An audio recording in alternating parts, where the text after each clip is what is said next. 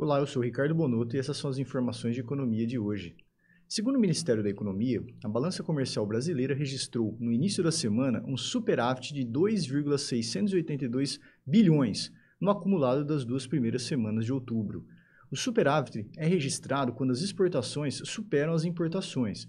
Já na segunda semana do mês, que contou com cinco dias, o superávit foi de 1,716 bilhões. Na primeira, com apenas dois dias úteis, o superávit foi de 966 milhões.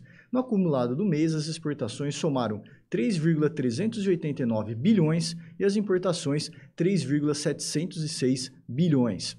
Considerando o valor médio diário, as importações são 31,6% menores que as registradas em outubro do ano passado.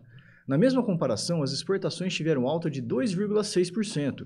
De acordo com o Ministério da Economia, houve um crescimento de 10,7% na exportação de produtos da indústria extrativa, com destaque para o minério de ferro, minério de cobre e fertilizantes brutos.